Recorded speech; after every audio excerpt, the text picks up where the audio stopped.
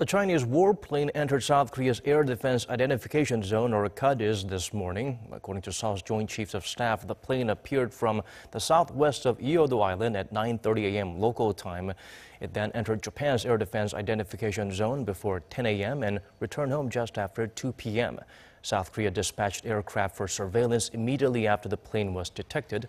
Beijing's military planes have entered the area multiple times since the country unilaterally declared its own such zone in 2013, which overlaps with parts of Korea and Japan's areas.